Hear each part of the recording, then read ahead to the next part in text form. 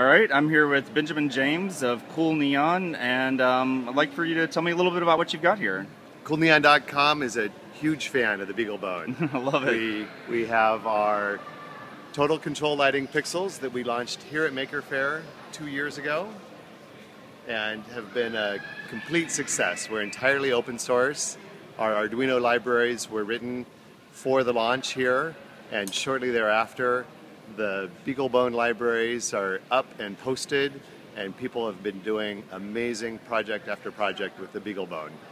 For example, my friend Chris DeVry wrote Tetris for the BeagleBone. So when you're done tripping out on our beautiful screen and you're ready to have some screaming fun with your friends, All right, so here's the here's the Beagle Bone, and um, so what you're what you're doing is you're moving it from the current BeagleBone that's driving it and hooking up to the other BeagleBone. Yes, and this is all just um, Well- SPI shift registers, right? So this is all just SPI. SP, you're jumping SPI from BeagleBone to SPI at one megahertz frequency. okay, So and that's feeding all the value to all these LEDs. 1,250 LEDs running at over 100 frames per second, all serial. nice.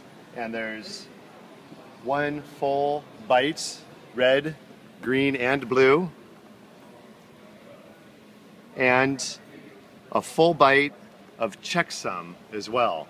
Okay. So let me, it's right So about to reset if you want to see. here. As soon as it stacks up to the top, it resets.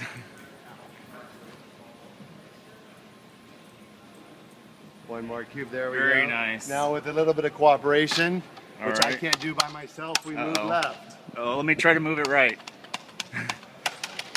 I went over here. Over here. Oh, oh No, oh, no, there? There. Oh no, very nice. Yeah, so to have kids need to scream at each other to make this happen, it's a joy to see them clear level after level after level.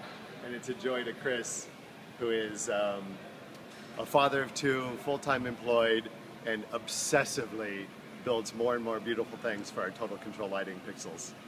This is this is a this is an awesome awesome demo. Thank you very much for for showing this to me. It's been my pleasure, and thank you for making such a wonderful product. Thanks. Bye.